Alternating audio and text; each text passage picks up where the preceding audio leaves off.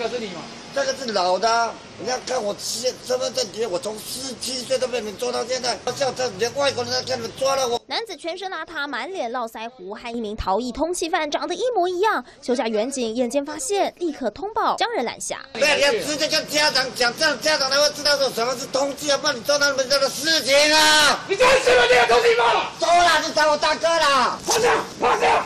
嫌犯看到远景开始胡言乱语，情绪相当激动。远景一开始好声好气，不断安抚，但他完全不配合，还朝着警察大吼大叫，逼远景使出强势手段。不要激动，不要激动，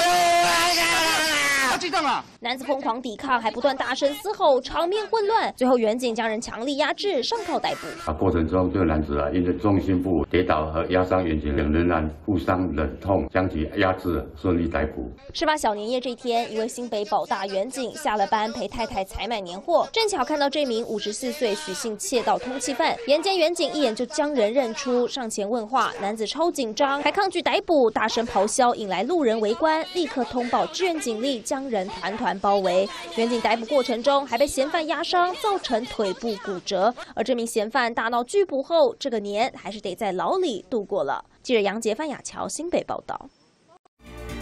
我是刘佳，我喜欢与您分享地球大小事、最新时事、国际脉动、财经动态，还有气象资讯，最接地气的新闻台，让你重要消息不漏接，聊天的话题也不脱钩。当然，更多新闻请锁定中视的 YouTube 频道，记得按赞、订阅、分享，还要开启小铃铛哦。